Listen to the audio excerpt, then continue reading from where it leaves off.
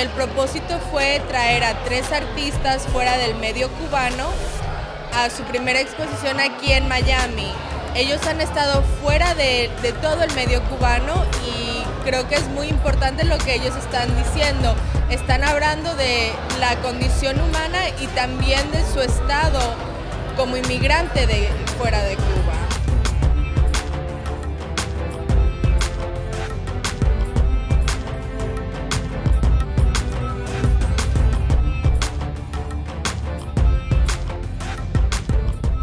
Proyecto se llama El relativismo de pecados y virtudes. Son eh, siete, eh, siete pecados y siete virtudes que se ajustan a cada una de las obras con su título.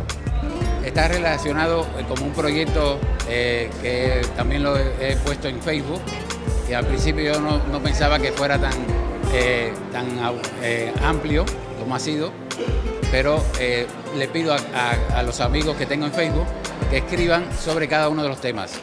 Entonces, ese, todos esos textos de esas reflexiones los voy a incluir en el, catálogo de la exposición junto con una edición que voy a hacer de en Gicle de cada una de las obras.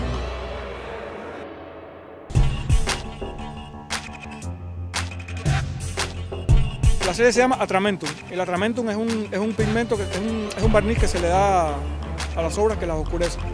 Y viene a raíz de, un texto maravilloso que me ha hecho José Sánchez, que es una, una crítico cubana, una teórica cubana que vive en, Madrid. Y ella decía que veía mi obra un poco como fogonazos así de luz.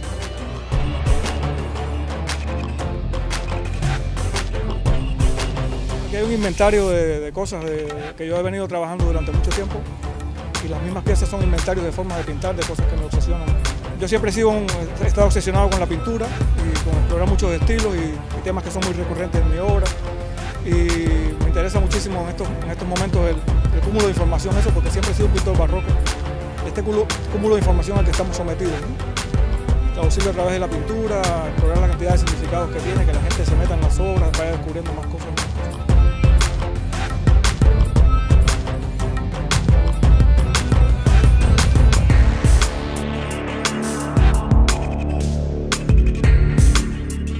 Yo presento un proyecto que se titula Un vidente bajo el cielo de Amida.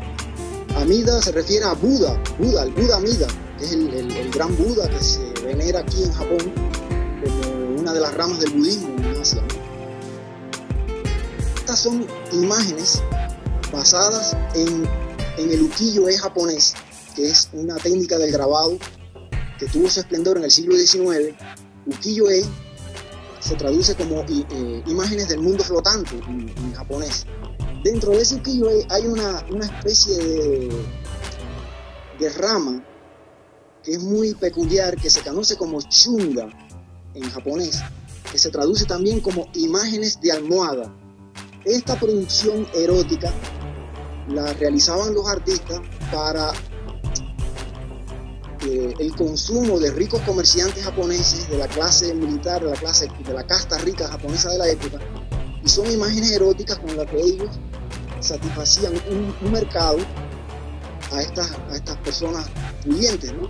Entonces, basado en esas imágenes, yo inmediatamente sentí una conexión con las historias cubanas, con recuerdos de Cuba, con la situación de Cuba, por ejemplo, a partir del colapso del campo socialista, todo lo que creó esa crisis que es como que se le, se le, llama, se le llamó periodo especial, eso produjo un, dramatismo en el, comportamiento del cubano que alteró todas las normas, toda la famosa moral socialista se puso en crisis y, y realmente empezó un fenómeno terrible con la prostitución y todas esas cosas en Cuba y eso a mí siempre me llamó la atención porque yo veía la conexión de estas imágenes eróticas, cómo el erotismo aquí tiene otra, otra, otra vertiente, pero cómo eso se podía aprovechar para abordar el tema cubano.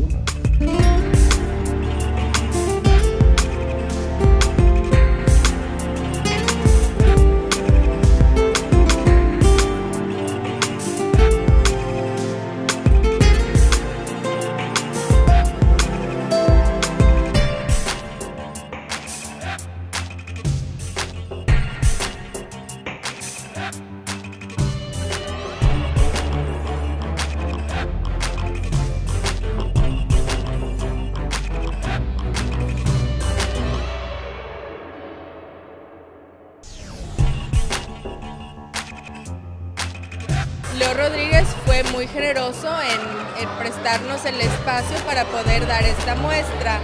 Este, él también siendo cubano este, y, muy interesado en el arte, pues este, fue muy generoso el, espacio que nos, nos provió y la verdad que sí es muy importante exponer artistas de Cuba que no sean realmente parte del medio cubano.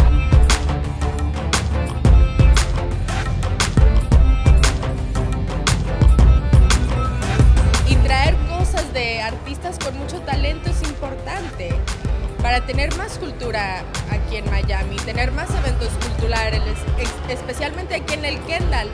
Es un área que, en donde no se encuentran muchas galerías ni muchos centros de arte, entonces la gente que vive aquí en Kendall es, es un privilegio tener un lugar así.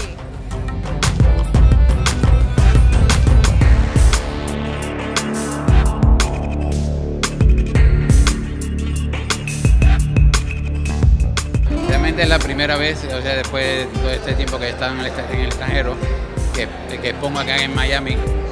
Eh, y es un encuentro, un reencuentro con, primero con muchos de los amigos que, han sido eh, colegas míos eh, y lo increíble que después de casi 30 años, ¿no?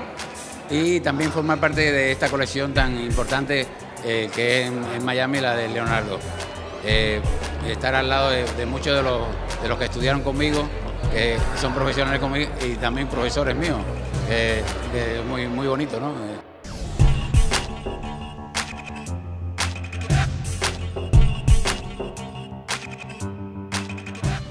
Para mí, por supuesto, es sumamente importante exponer en este espacio, que es un espacio que ya se vuelve, ya es histórico dentro de la, conservación del arte cubano, de reescribir la historia del arte cubano, que hay que reescribirlo, como, otras cosas. Y y exponer en Miami, por supuesto, un lugar con tanta historia para nosotros. Y la verdad es que el trato con Leonardo, con todas las, personas que trabajan y todo aquí ha sido maravilloso. Me siento súper honrado.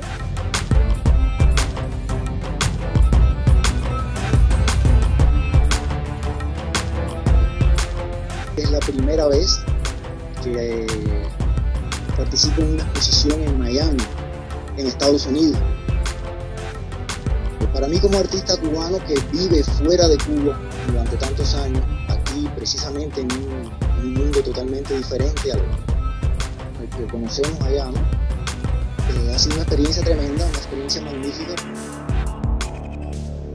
Eh, deseo primero eh, agradecer al señor Leonardo Rodríguez por acoger amablemente nuestra exposición su, en su centro, en su magnífico espacio. Deseo agradecer al maestro Carlos Lunas su esposa Claudia, eh, felicitar a la, a la, curadora, a Camila Luna, por su excelente curaduría, al señor Henry Bayate, eh, a la Fundación Siempre Viva.